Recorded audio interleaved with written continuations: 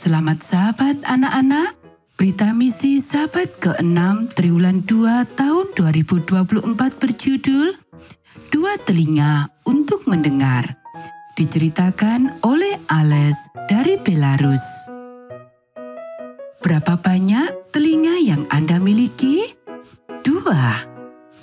Berapa banyak telinga yang Anda butuhkan? Itu pertanyaan yang lebih sulit.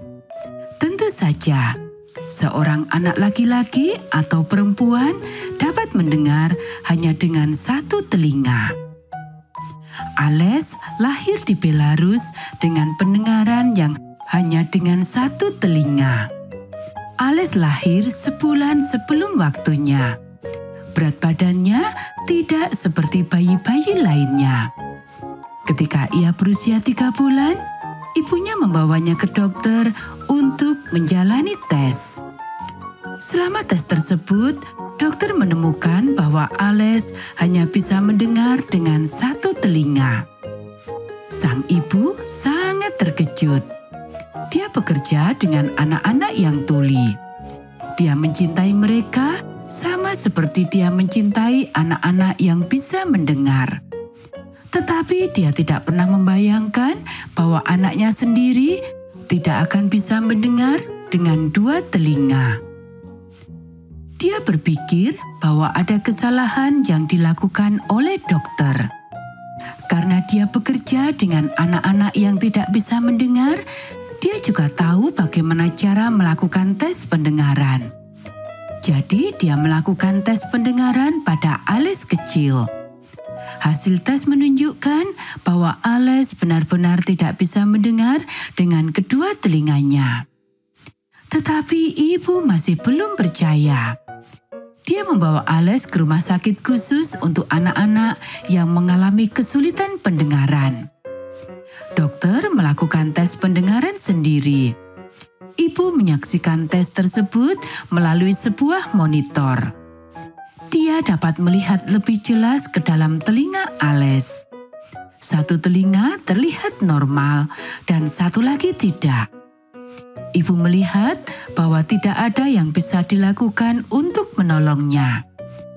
Ibu mulai menangis. Namun dokter tidak ingin melihatnya menangis. Mengapa Anda menangis?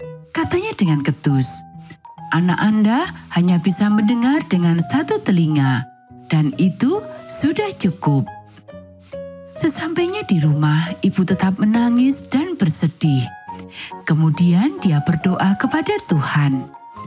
"Mengapa engkau mengizinkan hal ini terjadi?" katanya. Setelah beberapa saat, dia menyalakan musik di ponselnya. Sebuah lagu pujian yang indah mulai dimainkan. Lagu itu berjudul "Lebih Dekat Kepadamu, Ya Allahku". Ibu selalu mendengar lagu pujian itu sejak dia masih kecil. Tetapi untuk pertama kalinya, dia mengerti bahwa Allah benar-benar dekat dengannya. Rasanya sangat menyenangkan mengetahui bahwa Allah itu dekat. Tetapi ibu masih tidak mau percaya bahwa Ales hanya bisa mendengar dengan satu telinga. Dia tahu bahwa Allah dapat mendengar dengan dua telinga. Ibu terus mencoba berbicara kepada Allah. "Dengarlah aku," katanya. "Engkau dapat melakukan apa saja." Jika engkau memberikan kehidupan kepada anakku hanya dengan satu telinga, engkau dapat menyembuhkannya dan memberinya kehidupan dengan dua telinga.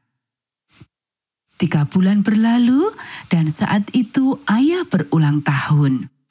Ayah tidak menginginkan kue untuk ulang tahunnya. Dia tidak menginginkan hadiah apa pun. Dia hanya ingin Ales mendengar dengan kedua telinganya anak kita akan mendengar. Katanya kepada ibu, Tuhan akan memberikan ini sebagai hadiah untuk ulang tahunku. Ayah dan ibu berdoa dan membawa Ales ke rumah sakit untuk menjalani tes pendengaran lagi. Tidak ada tempat untuk duduk sementara mereka menunggu. Ibu menggendong Ales dalam pelukannya, dan dia merasa begitu berat. Beratnya hanya lima setengah pons atau dua setengah kilogram, tetapi bagi ibu, Ales terasa seperti 25 pons atau 10 kilogram. Akhirnya, dokter memanggil mereka. Setelah selesai melakukan tes, dokter berkata, anak Anda dapat mendengar dengan sempurna dengan kedua telinganya. Ibu tidak bisa mempercayai apa yang didengarnya. Dia sangat senang. Ini adalah keajaiban Tuhan, serunya. Memang ini adalah sebuah keajaiban. Ibu telah melihat bagian dalam telinga Ales melalui monitor tiga bulan sebelumnya. Dia telah melihat bahwa tidak ada dokter yang dapat menolong Ales. Tetapi Sang Tabib Agung, Yesus Kristus, telah menyembuhkan anak laki-lakinya.